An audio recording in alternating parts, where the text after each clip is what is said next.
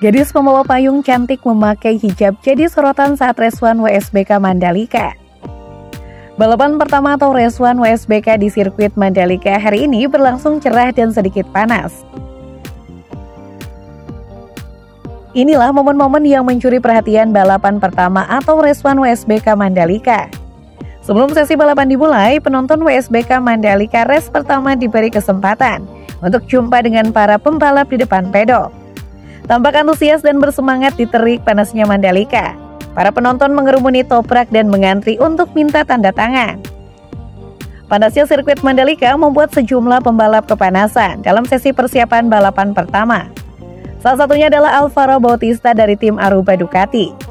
Di sesi build up terlihat Bautista ditemani gadis payung, namun lehernya dikalungkan air es yang dimasukkan dalam plastik. Kemudian pembalap BMW malah membawa kipas listrik berwarna merah ke dalam lintasan sambil menunggu sesi build up selesai. Toprak dan Jonathan Rea juga terlihat kepanasan. Sambil duduk di lintasan, Jonathan Rea diberi air es di kepalanya. Begitu juga dengan Toprak memilih menepi di pinggir lintasan sambil diberi air es dalam kantung di kepalanya. Namun yang menjadi sorotan adalah ketika salah satu pembalap dari Malaysia, yaitu Hafiz Syahrin, dia membawa gadis payung dengan wanita berhijab dan cantik di sampingnya. Lantas kamera dari tim WSBK langsung mengarahkan kepada gadis cantik memakai hijab tersebut. Beberapa marshal Mandalika pun turut menjadi sorotan. Ketika ada pembalap yang crash, para marshal pun sigap membawa motor pembalap yang terjatuh saat balapan.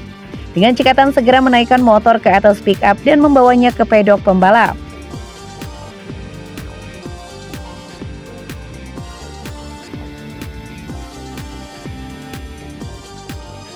Untuk hasil Reswan WSBK Mandalika 2023, pebalap Aruba.it Ducati Alvaro Bautista keluar sebagai pemenang Reswan.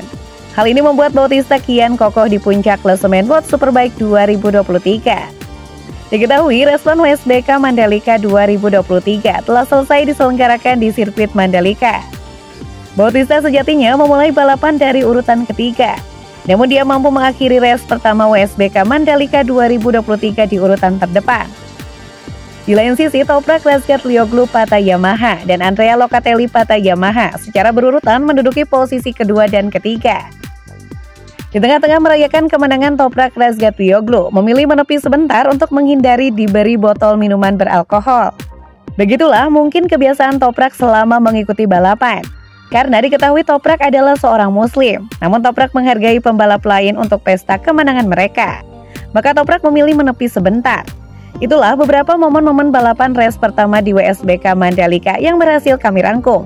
Ikuti terus channel ini agar tidak ketinggalan update berikutnya dengan cara subscribe dan aktifkan notifikasi loncengnya.